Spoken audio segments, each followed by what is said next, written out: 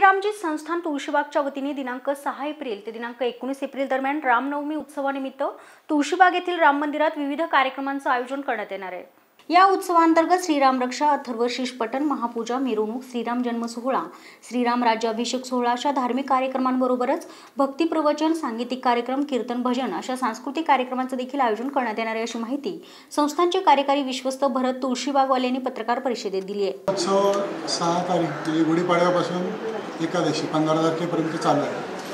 त्याच्यामध्ये रोज पवमान अभिषेक नंतर अ, पुरुषसूक्त स्त्रीसूक्त वगैरे असे कार्यक्रम चालतात. नंतर प्रवचन असतं. नंतर चारुदत्त आफळ्यांचं सहा तारखेपासून तेरा तारखेपर्यंत रोज कीर्तन आहे. नंतर सात तारखेला दीप्ती कुलकर्णी यांचं गीत रामायणावरती कार्यक्रम आहे. साडेआठ ते साडेदहा. नंतर नऊ तारखेला मंजुश्री यांचा शास्त्रीय गायनाचा कार्यक्रम आहे. नंतर अकरा तारखेला अमोल निसळ यांचा भक्तिसंगीतावर गायनाचा कार्यक्रम आहे. हे असे तीन मुख्य तर गायनाचे कार्यक्रम आहेत.